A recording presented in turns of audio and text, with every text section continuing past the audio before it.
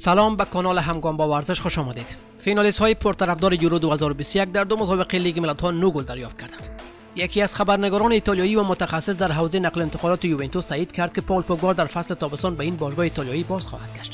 رئال مادرید در فصلی که گذشت یعنی فصل 2021-2022 بسیار درخشان ظاهر شد و توانست قهرمان رقابت‌های لالیگا و لیگ قهرمانان اروپا شود که قهرمانی در رقابت‌های لیگ قهرمانان اروپا برای رئال مادرید بسیار چشمگیر بود و آنها را به چهاردهمین قهرمانی خود در رقابت‌های Champions League رساند.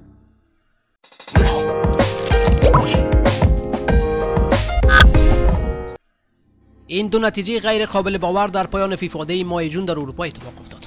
آلمان 5 ایتالیا 2 مجارستان 4 انگلیس 0 دو نتیجه ای که هرگز آن را تصور نمی کردیم و خصوص که پای دو تیم بزرگ فوتبال دنیا در میان است. ایتالیا و انگلیس که پارسال در همین روزها قدرت اول فوتبال اروپا به نظر می رسیدند هنوز ده دقیقه از بازی آلمان ایتالیا در شهر دورتموند نگذشته بود. که روی یک کار تیمی حساب شده توپ در مرکز محوطه جریمه ایتالیا به جاشوا کیمیچ رسید تا او با یک ضربه فنی دروازه ایتالیا را باز کند.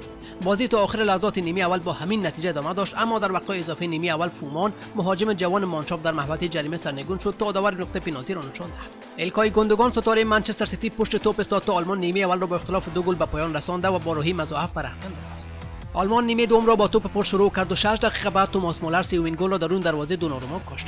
در دقیقه 64 مسابقه هانسی فلیک هافمن جوان که نمایش تاثیرگذار داشت از بازی بیرون کشید و سرژ گنابری را وارد زمین کرد. این تعویض طلایی بود چرا که 5 دقیقه بعد پاس گنابری با ضربه سر تیم ورنر به گل چهارم آلمان تبدیل کرد. یک دقیقه بعد ورنر بار دیگر زهر خود را به لاجوردی ها ریخت تا پنجمین گل مانچاف به ثمر برسد. وقت از شدت حملات ژرمن های پنج گله کاسته شد نوبت به ایتالیا رسید تا در دقیقه 78 یکی از گل ها را جمع کند. آخرین دقایق وقتهای تلف شده بازی شاید به ثمر رسیدن گل دوم ایتالیا بودند تا شب ابتدای تیم روبرتو مانچینی با نتیجه 5 بر 2 به پایان برسد و قهرمان اروپا که در جام جهانی قطر حضور نخواهد داشت شب تلخ دیگر در تاریخ فوتبالش را تجربه کرد. مانچینی پس از پایان بازی به خبرنگاران گفت هیچکس دوست ندارد ببازد خصوصا با نتیجه 5 دو اما متاسفانه این روند است که در آن ممکن است بعض شرایط درست پیش نرود. ما دفاع تیمی بعد داشتیم و به آلمان فضای بسیار برای استفاده و بازی دادیم. او با اشاره به دو گل در هنگام تیمش در این بازی سال داشت. ما در نهایت بالاخره توانستیم واکنش نشان دهیم و بعض از اتفاقاتی که در زمین رقم خورد مثبت بود. سبک اولیه ما کاملا اشتباه بود از نظر فیزیکی نیز هرگز نتوانستیم با آنها مقابله کنیم. باعث تاسف است چون ما اولین فرصت گلزنی را در این بازی خلق کردیم. این مربی ایتالیایی درباره شرایط تیمش در این مسابقات سال کرد. واقعیت این است که من فکر می‌کردم ما در بازی رفت هم پنج گل از آلمان دریافت کنیم و انتظار چنین اتفاق را داشتم. اگر ما پس از چهار بازی موفق شدیم پنج امتیاز در این مسابقات کسب کنیم یعنی عملکرد بسیار خوب از خود ارائه نکردیم. سرمربی آزوری با اشاره به روند که تیمش پس از یورو 2020 سعی کرده ادامه داد. ما باید بپذیریم که فراز و نشبهایی در این مسیر پیش روی ما قرار دارد اما نیاز داریم که این روند را طی کنیم تا به تیم قویتر تبدیل شویم. آلمان در حال حاضر مشخصا در سطح دیگر است. تفاوت ما با این تیم بسیار زیاد است. یکی از سوژه های اصلی این بازی که توجه و تحسین بسیاری از کارشناسان فوتبال دوستان را به همراه داشت عملکرد مونل نویر در دروازه بود که یکی از بهترین نمایش های چند سال اخیرش را ارائه کرد. در حالی که بازی با نتیجه 3 0 دنبال می‌شد ایتالیا حمله را روی دروازه آلمان تدارک دید و در حالی که گل شدن توپ نیکولو بارلا قطعی به نظر می رسید این نویر بود که با واکنش تماشایی مونی از گلزنی آزوری شد و در حالی که در ابتدا به سمت اشتباهی رفته بود اما به شکل باور نکردنی به سمت خط دروازه برگشت و اجازه نداد که توپ از آن رد شده و دروازه تیمش باز شد همین باعث شد که بسیاری از کاربران شبکه های اجتماعی با به اشتراک گذاشتن ویدیوهایی از این صحنه این مهار از سوی نویر را واکنش تماشایی و خارق العاده خوانده و به تحسین عملکرد این بازیکن بپردازند ممکن بود این گل حتی به دلیل خطای آفساید بارلا مردود اعلام شود اما نویر در هر حال یکی از بهترین واکنش های یک دروازه‌بان در چند سال اخیر فوتبال اروپا را به نمایش گذاشت و نشان داد همچنان در 36 سالگی یکی از بهترین دروازه‌بانان دنیای فوتبال به حساب می آمد و آماده همراهی تیمش در جام جهانی 2022 قطر است. شبکه آماری اپتا اعلام کرد که این پرگلترین پیروزی تاریخ فوتبال آلمان برابر ایتالیا است. پیروزی 5 بر 2 آلمان برابر ایتالیا همچنین پرگلترین پیروزی ژرمن ها در لیگ ملت‌های اروپا است. شاگردان فلیک بعد از سه تساوی پیاپی توانستند در این بازی به پیروزی دست پیدا کنند افتضاح دوم دیشب در استادیوم مولینیو و برای شاگردان گرت ساوتگیت اتفاق افتاد. تیم که بازی قبلی خود در لیگ ملت‌ها تنها موفق به کسب دو امتیاز شده بود و بازی دیشب مقابل تیم ضعیفتر مجارستان به عنوان فرصت برای جبران نگاه می‌کرد. اما مجارها که برای دیدار با انگلیس به خاک این کشور رفته بودند نه تنها از پیش باخته نبودند بلکه با ارائه یک بازی برتر موفق شدن سه را در خانه خودشان تحقیر کنند. رولاند سالای در دقیقه 16 اولین گل را برای مجارها زد. بازی پس از این گل تا دقیقه 70 با همین نتیجه ادامه پیدا کرد تا سالای دومین گل خود را به ثمر برساند. در دقیقه بعد نوگی اختلاف مجارستان را به عدد سه رساند. انگلیس در دقایق باقی مانده یک اخراج هم داد از دقیقه 82 با اخراج جان استونز در نفره شد. انگلیسی ها در دقیقه 89 چهارمین گل را هم دریافت کردند تا یکی از تحقیرآمیزترین شکست های خانگی خود را در بازی های رسمی را به ثبت برسانند. قبول این باخت برای هواداران و تماشاگران حاضر در ورزشگاه بسیار دشوار بود و همین باعث شد که صدای هو کردن بازیکنان و کادر فنی انگلیس از سوی آنها در دقایق پایانی این بازی به وضوح شنیده شود. ساوتگیت پس از پایان بازی به خبرنگاران گفت. ما تیم جوان با انرژی انتخاب کردیم و وقت بازی برخلاف خواسته های آنها پیش رفت همه چیز به هم ریخت. در آخر مسئولیت این شکست با من است. من به بازیکنانم گفتم که مسئولیت این چهار بازی با من است. من باید بازیکنان جدید را به تعادل میرساندم. ما نتوانستیم تعادل بین بازیکنان جوان و با تجربه خودمان را ایجاد کنیم. او با اشاره به تجربه که بازیکنان جوان از این دیدارها کسب کردن کرد این درس مهم برای بسیاری از آنها بود. ما چیزهای بسیاری در دیدار برابر آلمان ایتالیا یاد گرفتیم.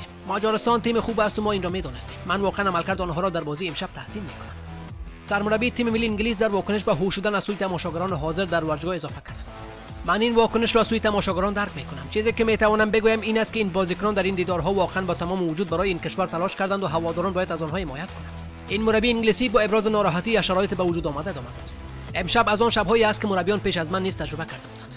بسیار مهم است که بتوانیم استادگی کنیم و چنین شبهای دشوار را پشت سر بگذاریم. باید بگویم که این شکست برای من بسیار دردناک است.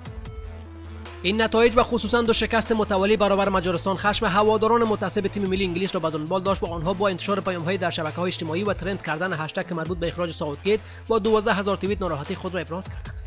یکی از هواداران مدعی شد که ساوتگیت در حال هدر دادن یک نسل طلایی دیگر از فوتبال انگلیس است. او نوشت ساوتگیت هرگز شایستگی این پست را نداشت و هرگز عملکرد خوب نداشت. صعود در یک تورنمنت نباید شما را گول بزند. ما نسل طلایی دیگر داریم که با حضور ساوتگیت هدر می‌رود. تو باید به خانه بروی گرت ساوتگیت انگلیس در پایان هفته چهارم با دو امتیاز در قعر جدول گروه C لیگ ملت‌ها ایستاده است. جالب اینجاست در گروهی که بزرگان مثل آلمان، ایتالیا و انگلیس در آن حضور دارند، حالا مجارستان با هفت امتیاز صدر نشین است. به نقل از رومیو آگرستی روزنامه‌نگار معتبر نشریات و خبرنگار سرشناس های ایتالیایی و متخصص حوزه نقل انتقالات پال پوگبا بازیکن تیم ملی فوتبال فرانسه و ستاره خط میانی یوونتوس که به تازگی از تیم منچستر یونایتد انگلستان جدا شده است. 6 سال بعد از انتقال 100 میلیون یورویی خودش به جمع شیاطین سرخ شهر منچستر مجددا قرار است به ورزشگاه آلیانس تورین بازگردد. طبق این گزارش آگرسی در خصوص بازگشت پوگبا به یوونتوس چنین عنوان می‌کند. بدون شک ستاره فرانسوی در تابستان به تورین باز خواهد گشت. ظاهرا بیان کنونی بازگشت این هافک را در ماه جولای اعلام رسمی خواهند کرد. پال پوگبا در سال 2012 میلادی با انتقال رایگان از اولترافورد به یوونتوس پیوست و چهار سال بعد نیز با مبلغ معادل رقم 100 میلیون یورو از این تیم جدا شده و در مسیر عکس انتقال قبلی حرکت کرده بود ملی پوش فرانسوی چهار عنوان قهرمانی سری را در تورین به دست آورد.